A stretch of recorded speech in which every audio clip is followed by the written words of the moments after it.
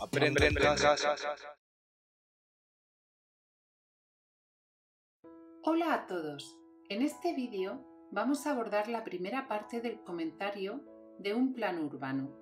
Un plano urbano es la representación a escala de la superficie de la ciudad, en la que se muestra la distribución de la edificación, viales, plazas y todo lo que configura el espacio público y privado de la misma.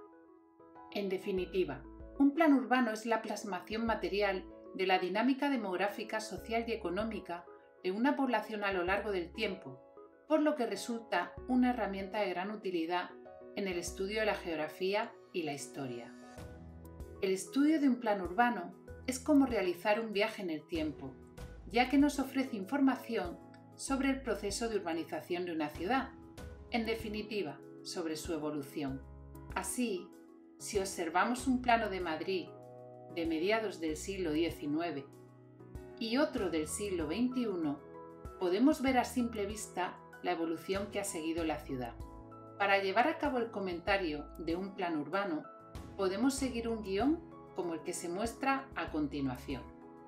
En primer lugar, iniciamos el comentario indicando que vamos a realizar el comentario de un plan urbano y si es posible identificaremos qué ciudad es y realizaremos una breve reseña histórica de la misma, indicando el papel que ha desempeñado a lo largo de la historia. A continuación, pasamos a justificar el emplazamiento y la ubicación de la ciudad, factores fundamentales que inciden en la morfología urbana. Por lo que se refiere al emplazamiento, es el espacio concreto en el que se asienta la ciudad. Está profundamente ligado a su función original, como es la función defensiva, comercial, militar, etc. Entre los emplazamientos más habituales destacan los que están junto a un río, bien por el abastecimiento de agua o por función defensiva, de forma que el curso de agua actúa como un foso natural, como ocurre en Toledo, tal como podemos ver en la imagen.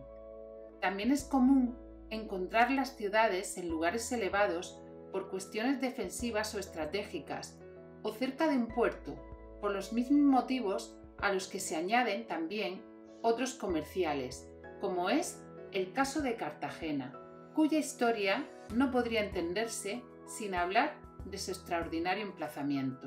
No podemos olvidar tampoco la ubicación cerca de los recursos naturales, como son los recursos agrarios o los mineros, algo determinante en el caso de Cartagena por su cercanía a la sierra minera.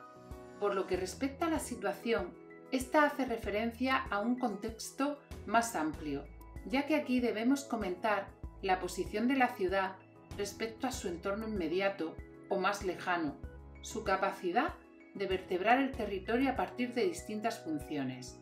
Así, por ejemplo, Valencia es una ciudad portuaria situada en el corredor del Mediterráneo, al que vertebra, capital de la comunidad valenciana y centro de un área metropolitana de más de un millón y medio de habitantes. Su función es comercial, industrial y turística. En el caso de Madrid, se trataría de la capital de España y su influencia se extiende a todo el territorio español, siendo su principal característica la centralidad. Es una ciudad con múltiples funciones, entre las que destacan las administrativas, al encontrarse en la misma las sedes de los ministerios, embajadas y otros organismos. No podemos olvidar tampoco su importancia como encrucijada de comunicaciones y sede de industrias y comercios. Y hasta aquí la introducción al comentario de un plan urbano.